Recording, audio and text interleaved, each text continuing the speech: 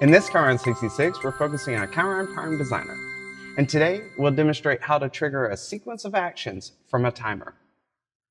Imagine you're in a news segment where you want to introduce various elements in a coordinated manner.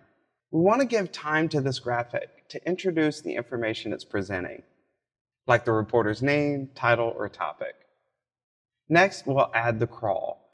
We want this to start, let's say 10 seconds after the lower third.